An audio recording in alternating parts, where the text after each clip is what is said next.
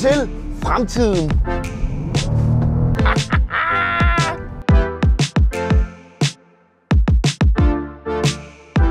The future is here. And I love it. Så. Uh, nu.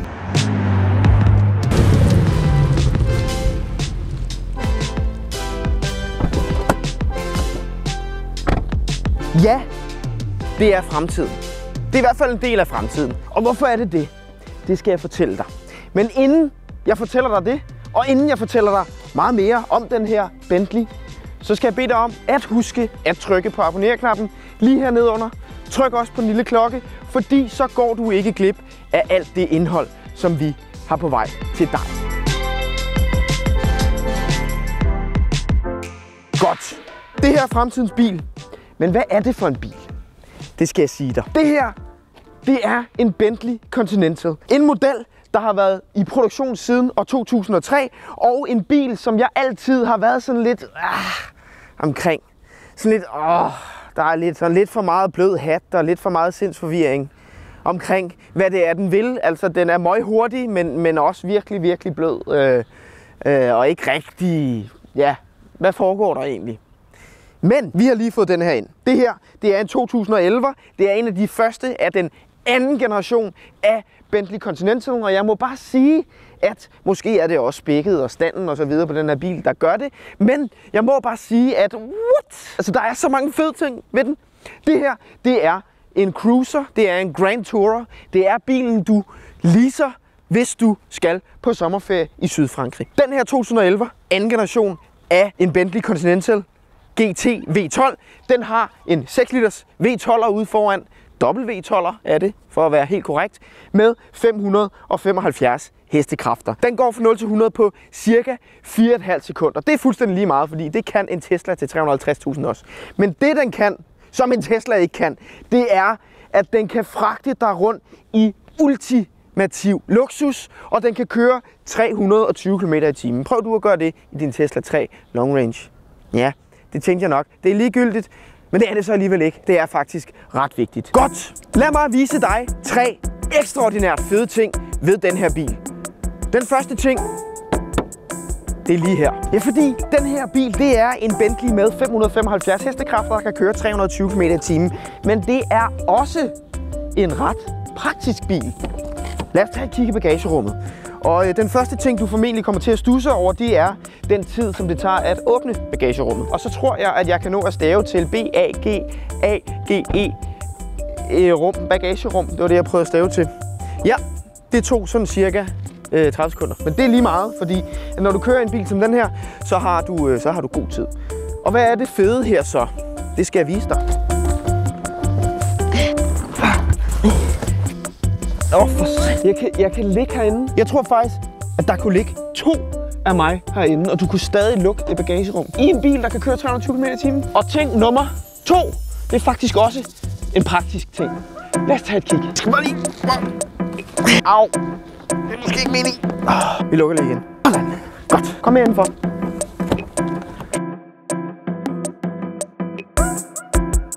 Fordi det, der er med den her Bentley, det er, at på trods af, at den kun har to døre, så har den faktisk bagsæder. Og det er bagsæder, som du nemt kan tilgå, fordi sædet det selv kører frem. Og så kan du også nogenlunde elegant sætte dig herind. Jeg tror rent faktisk også godt, at du kan sidde derinde sådan rimelig komfortabelt. Lad os prøve. Helt seriøst. Det er bedre end en Kia Ceed. Nej, Nej, det er det ikke. Men det er ret godt. Den tredje fede ting ved den her Bentley. Ja, det er jo altså ikke, fordi der kun er tre fede ting ved den her Bentley. Men jeg synes alligevel, at de her tre ting, de gør, at den lige skiller sig lidt ud fra sine konkurrenter. Og den tredje fede ting, jamen det er altså kabinen sådan helt generelt. Det er virkelig her, at du kan mærke, at det her det engang var en vanvittig dyr bil. Det her, det er engelsk craftsmanship, når det er allerbedst. Det er det tykkeste læder. Det er en kvalitetsfornemmelse, der på trods af de 10 år, den her bil har på banen, er fuldstændig som da den var ny. Bilen her har kørt næsten 87.000 km, og der er ikke en knap, Der er ikke et beslag, der er ikke en syning, der ikke er, som da den forlod fabrikken. Det her Breitling-ur, det går cirka. Altså det går. Altså tag bare måden, hvorpå du åbner og lukker luftdyserne.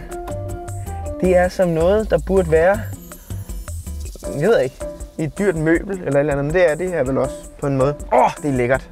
Og det er sjovt, fordi den her Bentley, jeg har altid øh, kigget på den og tænkt, Ugh. men nu, øh, nu er jeg i den, og nu, altså, wow, wow, det er godt. Og nu har jeg altså flere gange sagt, at den her Bentley, det er fremtidens bil. Det er selvfølgelig ikke fremtidens eneste bil, men den er altså en del af fremtiden. Og hvorfor forholder det sig sådan? Lad os køre en tur og øh, tage en snak om det.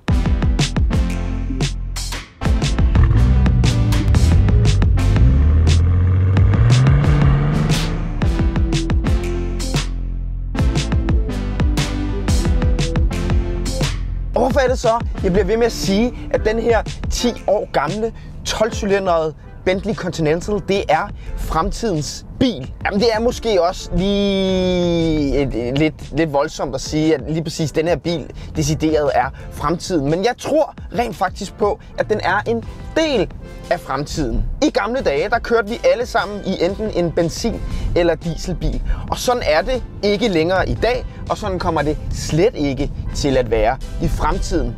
Nej, om 20 år, så kommer vi til at køre i alt muligt mærkeligt. Vi kommer til at køre i elbiler, vi kommer til at køre i hybridbiler, vi kommer til at køre i brintbiler. Ja, måske kommer der også et eller andet, vi slet ikke har set komme sådan ud af det blå, som vi kommer til at køre på. Men en ting, som vi altså også kommer til at køre på, det er benzin. Og det er benzin, som du kan fylde i biler, som den her 12-cylindrede Bentley Continental GT. Har du sat dig lidt ind i det her emne med, hvad for nogle biler vi skal køre i, og hvad for noget brændstof vi skal køre på, og så videre, men så sidder du nok lige nu og tænker, ah, Mads, er der ikke et eller andet med noget, et forslag i EU, og så videre. Ved du ingenting om det her emne, jamen så tænker du nok, mm, hvad snakker du om? Hvorfor, hvorfor går du op i jamen, øh, global? Jamen, ja, nå. Men det, som det hele jo simpelthen går ud på, det er, at der er blevet stillet et forslag i EU, at der fra 2035 ikke må produceres benzin- og dieselbiler. Det kan altså kun være 0 emissionsbiler, der bliver produceret fra året 2035. Og det er jo sådan set fint nok. Vi skal selvfølgelig til at omstille os. Vi skal selvfølgelig være CO2-neutrale, og det skal vi være så hurtigt som muligt for at passe på den planet, som vi lever på. Men hvordan vi bliver CO2-neutrale, det er jo altså bare et rigtig godt spørgsmål, og det er et spørgsmål, som der er rigtig mange meninger om, og det er et spørgsmål, som jeg i virkeligheden heller ikke rigtig kan overskue og beskæftige mig med. Men når nu det kommer til biler, så bliver jeg nødt til at beskæftige mig med det. Og det gør jeg også fordi jeg synes, at det er vanvittigt spændende. Og det her forslag, det gik altså til at starte med ud på, at der ikke måtte blive produceret og solgt benzin- og dieselbiler fra 2035. Og det er jo sådan set fint nok. Det gør jo bare, at der skal stilles lidt højere krav til ladenetværket og så videre, og det virker i virkeligheden også som et ret urealistisk forslag i den forstand, at vi jo ikke alle sammen kan køre el- og brændbiler om mindre end 20 år. Altså, tag bare den danske bilpark lige nu. Mellem 2 og 3 millioner biler, siger jeg, for at være på den sikre side, og kun 100.000 af dem er elbiler. Det er altså vanvittigt mange benzin- og dieselbiler, der stadig kører rundt i Danmark. Med god grund, fordi at elbiler jo ikke nødvendigvis fungerer særlig godt. For eksempel i det mørke Jylland, som ikke er mørkt, men det siger man bare, det er, fordi at man er københavner. Så. Og hvorfor er det så, at jeg siger, at det her det er fremtidens bil? Jamen det siger jeg, fordi at det her forslag ikke er blevet vedtaget endnu. Det skulle faktisk lige til at blive vedtaget, men så øh, alle de store bilproducerende nationer, de sagde, øh, prøv nu lige at vente fordi der er jo noget med øh, øh, syntetisk brændstof. Syntetisk brændstof. Putter du syntetisk brændstof i den her bil, så er den en nul-emissionsbil, så er den CO2-neutral. Og hvordan kan det lade sig gøre? Jamen det kan simpelthen lade sig gøre ved, at det her organiske, biodynamiske, syntetiske brændstof bliver produceret ved hjælp af vindenergi, og det produceres ved hjælp af, at der hives CO2 ud af atmosfæren. Så selve produktionen af den her brændstof er faktisk ikke bare neutral, den er faktisk god for klimaet. Og det der så sker, når du putter det i den her bil, så øh, den forbrænding, der nu kommer ud bag den, den er jo altså CO2-neutral, fordi den forbrænding, der sker, den er allerede sket. Så den her bil med CO2-neutralt syntetisk brændstof i, det er en nulemissionsbil. Og det, der er så vanvittigt genialt ved den her syntetiske brændstof, det er, at du blot kan fylde den direkte i tanken, uden det har nogen former for effekt på bilen. Nogle målinger viser, at den får lidt flere hestekræfter ved syntetisk brændstof. Nogle målinger viser, at den får lidt færre hestekræfter. Men i det store hele billede, så er syntetisk brændstof en fuldgyldig erstatning for den benzin, som vi kender i dag, der er lavet af olie. Jeg forstår ikke, hvorfor der ikke bliver snakket mere om det her. Altså, det er plug and play. Firmaerne, der laver syntetisk brændstof i dag, de laver det primært til de forskellige racerserier, der gerne vil være CO2-neutrale. Og de firmaer, de siger altså, at de forskellige regeringer blot skal sige til, så kan de trykke på knappen og få omkostningerne per liter ned på, hvad der minder om en normal literpris for en liter benzin. I dag der koster en liter syntetisk brændstof cirka 55 kroner literen, og det lyder vanvittigt, men ved hjælp af stordriftsfordele, hvis produktionen øges, så kan en liter syntetisk brændstof altså nemt komme ned på 10 kroner. Det kan kun være den vej, vi skal. Det er selvfølgelig et stort politisk spil, og det er ikke noget, jeg vil komme ind på her på kanalen. Det jeg bare siger, det er, at der er håb. Der er håb for alle os, der lider af rækkeviddeangst. Der er håb for alle os, der godt kan lide benzin- og dieselbiler. Det er en fantastisk dag. Solen skinner, og jeg kører i en Bentley, der ikke er forbudt at køre i, heller ikke om 20 år. Hvis du ligesom mig elsker de her biler, uhuh, så husk at trykke på abonner-knappen hernede under. Tryk også på den lille klokke, fordi så går du ikke glip af alle de forskellige biler, som vi kører i her på kanalen. Vi kører i benzinbiler, vi kører i dieselbiler, vi kører i elbiler, vi kører i superbiler, vi kører i minibiler, vi kører i... Vi elsker bare biler. Så husk at abonnere. Jeg har masser af godt indhold på vej til dig. Tak fordi, at du så med.